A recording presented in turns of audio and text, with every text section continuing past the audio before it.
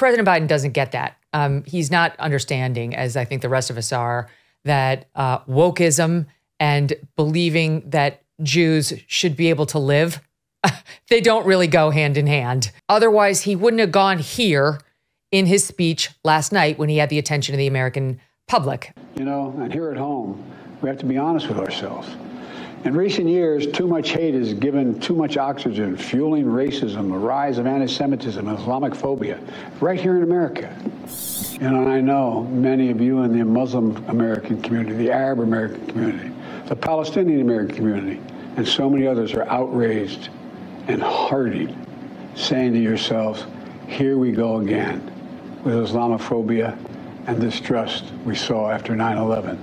Do not try to broaden it out and tie it to all your priors on how you think Americans are racist and bigoted and anti Muslim and so on.